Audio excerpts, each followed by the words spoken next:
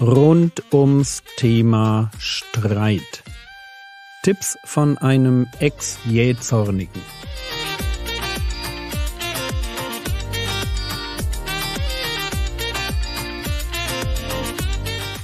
Theologie, die dich im Glauben wachsen lässt, nachfolge praktisch dein geistlicher Impuls für den Tag.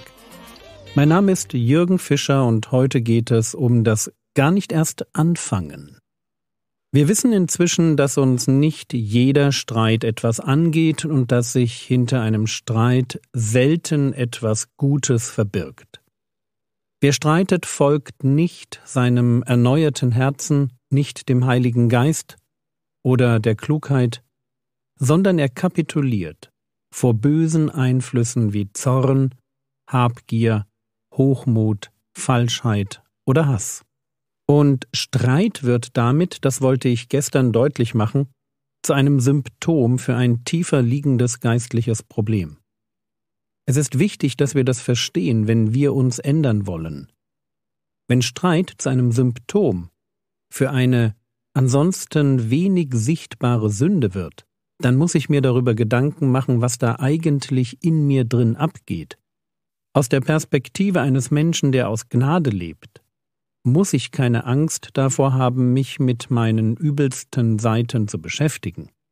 Ich darf zugeben, hochmütig oder habgierig oder feindselig oder was auch immer zu sein. Ich darf mich der Realität stellen, und ich muss es tun, um meine Sünde zu bekennen und ganz praktisch der Heiligung nachzujagen. Ich mag das gern immer wieder sagen. Sünde ist für einen Christen kein Problem solange er sie nicht unter den Teppich kehrt, solange er sie bekennt und dann in der Kraft, die Gott ihm gibt, sich daran macht, sie zu lassen. Erst wenn wir Sünde nicht mehr wahr haben wollen, wenn wir sie heuchlerisch verstecken, womöglich nicht einmal mehr vor Gott ehrlich sind, dann und nur dann wird Sünde für uns zum Problem. Und deshalb ist ein Streit ein guter Anlass, um sich selbst die Frage zu stellen, was ist eigentlich mit mir los? Was steckt da in mir an falscher Haltung, an böser Begierde oder an Eigenwilligkeit drin, dass ich streite, wo ich doch weiß, ein Knecht des Herrn soll nicht streiten. Vergessen wir nicht, was Jakobus formuliert. Jakobus Kapitel 4, Vers 1 Woher kommen Kriege und woher Streitigkeiten unter euch? Nicht daher, aus euren Lüsten, die in euren Gliedern streiten? Merkt ihr? Ein Streit ist ein Symptom für die Herrschaft von böser Lust. Und deshalb mein Tipp.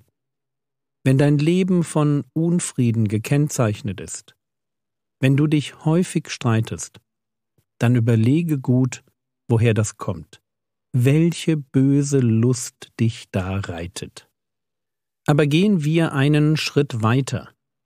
Wie gehen wir im konkreten Fall mit der Situation um, die gerade vor uns und in uns eskaliert?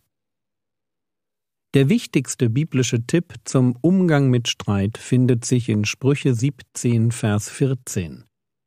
Dort lesen wir Wie einer der Wasser entfesselt, so ist der Anfang eines Streites. Bevor also der Streit losbricht, lass ab. Und man kann hier auch übersetzen mit bevor also der Rechtsstreit losbricht, aber ich möchte mich heute und in dieser ganzen Woche nur auf Streit konzentrieren. Wenn du von Natur aus ein Streithansel bist, und solche Leute gibt es. Ich rede da aus Erfahrung. Wenn du also der Typ mit der kurzen Lunte bist, der sich leicht aufregt, schnell auf 180 ist, sich dann schon mal nicht mehr beherrschen kann, dann lern diesen Vers auswendig, damit du ihn im Herzen hast und entsprechend handeln kannst. Also die wichtigste Regel beim Umgang mit Streit ist die, dass wir vorher aufhören. Bevor der Streit losbricht, lass ab. Klingt irgendwie logisch, oder? Geht es erst einmal los, dann ist es nämlich zu spät. Das ist, um eine moderne Übertragung zu wagen, in etwa so, als würde man eine Bombe in der Staumauer einer Talsperre platzieren und zünden. Wie einer, der Wasser entfesselt. So wie sich die freigesetzten Wassermassen alles vernichtend über die Landschaft hinter dem Staudamm ergießen. So ist ein Streit, der losbricht, Einmal losgelassen ist sein Zerstörungspotenzial unkalkulierbar. Und deshalb, bevor der Streit losbricht, lass ab. Oder mit Paulus, Römer 6, Vers 13. Stellt auch nicht eure Glieder der Sünde zur Verfügung als Werkzeuge der Ungerechtigkeit, sondern stellt euch selbst Gott zur Verfügung als Lebende aus den Toten und eure Glieder Gott zu Werkzeugen der Gerechtigkeit. So, jetzt wollen wir diesen Vers übertragen. Stell dir vor, du fühlst diesen innerlichen Druck, dieser Moment kurz bevor du den Kommentar abgibst, von dem du genau weißt, dass er den ganzen Abend kaputt machen wird. Es gibt in uns diesen kurzen Moment, bevor der Damm bricht. Und Stell dir vor, du würdest in diesem Moment deinem Mund verbieten, etwas zu sagen. Im Sinn von Stopp. Das, was da gesagt werden soll, führt zum Streit und das darf nicht sein. Befehl an die Stimmbänder, Befehl an die Zunge und die Lippen, es wird nichts gesagt. Das wäre, was Paulus formuliert. Stellt auch nicht eure Glieder, in diesem Fall Stimmbänder, Zunge und Lippen, stellt auch nicht eure Glieder der Sünde zur Verfügung als Werkzeuge der Ungerechtigkeit. Nichts sagen, den Streit vermeiden, ist viel besser, als einen Streit vom Zaun zu brechen. Streit lohnt sich nicht. Und ich bin mir schon darüber im Klaren, dass jeder, der einen Streit anfängt, genau das anders sieht. Wir streiten ja, weil wir denken, dass es sich lohnt, laut zu werden und auf unserer Meinung zu beharren oder den anderen niederzumachen. Nur die Realität, die hört sich anders an. Hier, Sprüche 20, Vers 3. Ehre ist es dem Mann, vom Streit abzulassen. Jeder Narr aber fängt Streit an. Wer einen Streit anfängt, ist ein Dummkopf, ein Narr. Er ist ein Narr, weil ein Streit ein unkalkulierbares Risiko für jede Beziehung darstellt. Und er ist ein Narr, weil er sich nicht an das Gebot seines Königs hält. Gerade beim Thema Streit fällt mir immer wieder auf, wie blöd Menschen sind.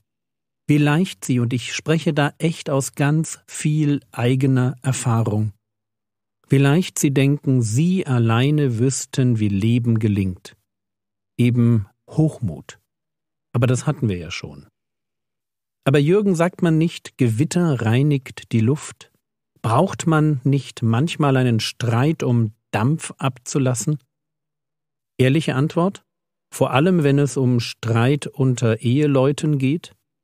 Streit reinigt nicht das Verhältnis, sondern Streit vergiftet es. In Sprüche 18, Vers 19 werden Streitereien mit dem Riegel einer Burg verglichen.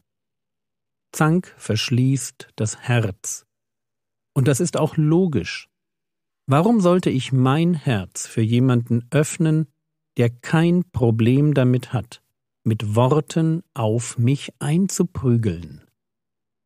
Sprüche 18, Vers 19 ein getäuschter Bruder ist unzugänglicher als eine befestigte Stadt. Und Streitigkeiten sind wie der Riegel einer Burg. Das ist so was von wahr. Streitigkeiten sind wie der Riegel einer Burg.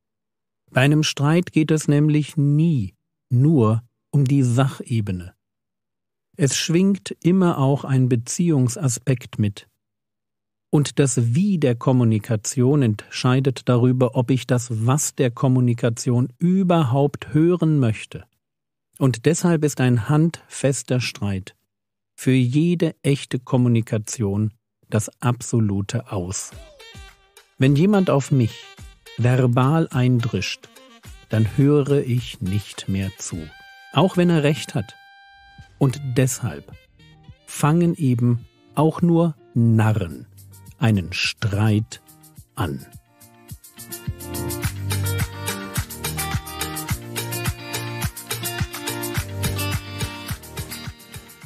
Was könntest du jetzt tun? Du könntest darüber nachdenken, ob und wie diese Episode dein Denken über das Thema Streit verändert hat. Das war's für heute. Predigten von mir finden sich auf frogwords.de und auf meinem YouTube-Kanal. Der Herr segne dich, erfahre seine Gnade und lebe in seinem Frieden. Amen.